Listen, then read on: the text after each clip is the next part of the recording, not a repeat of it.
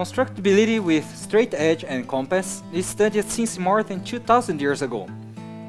For example, how do you bisect an angle? With a simple construction, you can do this. Another question, given a square, how do you make another square with double the area of the first one? There is also a simple construction to solve this one. But there are questions that cannot be solved with straight edge and compass. One example is the trisection of an angle. And another one is, given a circle with area A, make a square with the same area. These questions are already proven to be unsolvable with straight edge and compass. The reason, in short, is that given a rational number we can only construct numbers that belongs to the real quadratic closure of the rational numbers. But let's leave this explanation to another video. Now you may ask, why are you talking about this if this is an origami channel? The reason is simple, with origami we can't trisect an angle.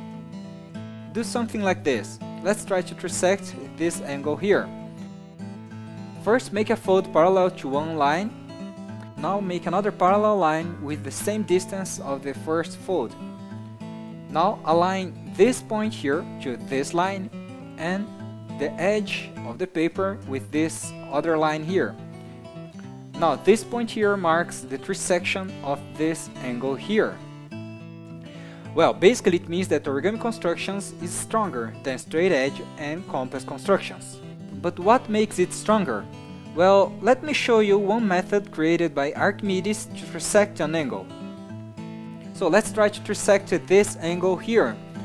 Make a circle with radius 1. Now make a line making this distance here equals 1.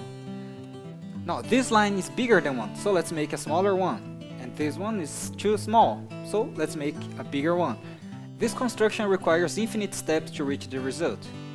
Now let's do the same with the help of a piece of paper. As you can see, we transformed these infinite steps into one step. Basically, when we do this fold, called the Beloch's fold, aligning two points with two lines, is when you make origami constructions stronger than straight edge and compass.